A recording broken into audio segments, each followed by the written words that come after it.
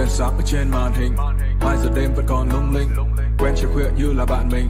Nghe tiếng nhạc còn đập rung rinh ngay bên loa. Đêm mà thêm say thêm ca chỉ cần anh em ngay bên ta. Anh vẫn cày cuốc hằng say như ngày trước. Dù không biết sau này họ sẽ nhớ đến hay quên ta. Nhớ khi xưa những ngày đó. Khi mà đập duy nhất là những lời cười khen.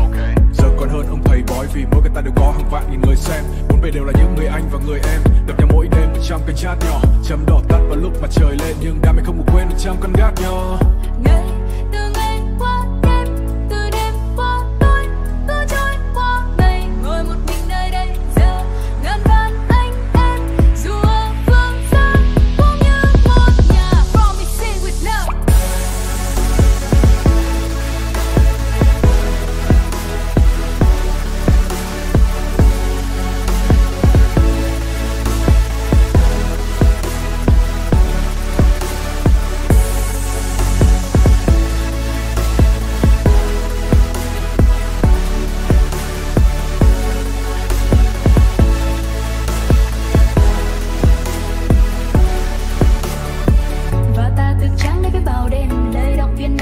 Áo quên. Đời nhiều mặt đắng như cả sang bên. Vươn qua góc tối mắt trời đang lên. Có những lời khinh, có cả lời tình. Có những lời yêu, thế là lời nhiều. Ta không cần khoe, có cần nhiều lời. Thôi không cần kể ta cứ chiều đời. Làm cái nghề này 10 ngày. Dài cứ như là 10 năm. Tôi sinh ra là người tây, nhưng họ nói rằng tôi là người chăm. Chăm vợ, chăm con, chăm làm trăm phần trăm mỗi khi nâng chén.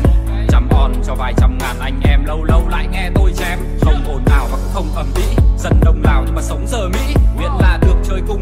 Thì thôi, nó cứ phải gọi là hợp lý. Music mình on the mic điều tôi muốn nói không có gì đâu, chỉ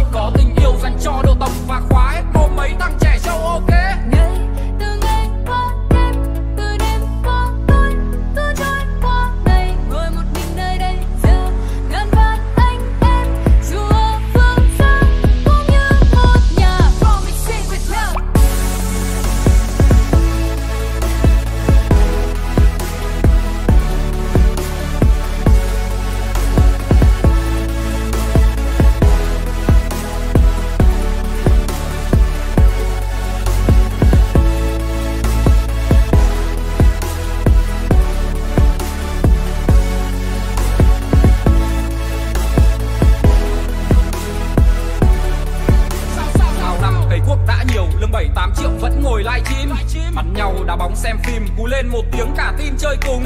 Đêm đêm anh lại tiệc tùng âm thanh ánh sáng đã bùng lên chưa? Độ này vẫn giống độ xưa vẫn đợi donate vì chưa có tiền